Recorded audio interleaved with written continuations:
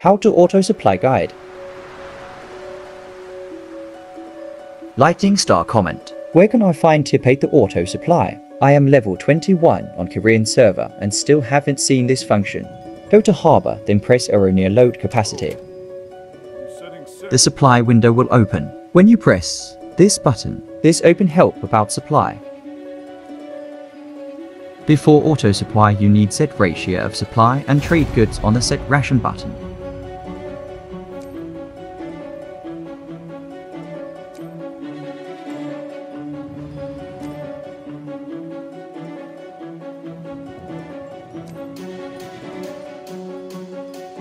In set load ratio window, you can set up custom load ratio or another 3 for adventure, trade or combat.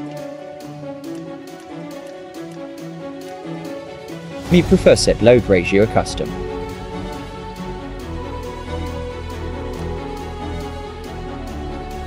Once you click on apply, you can automatically supply now using your preset ratio. After clicking on discard excess, you will now be able to click auto supply. Leave your comments and voice your opinion here. Thank you for attention.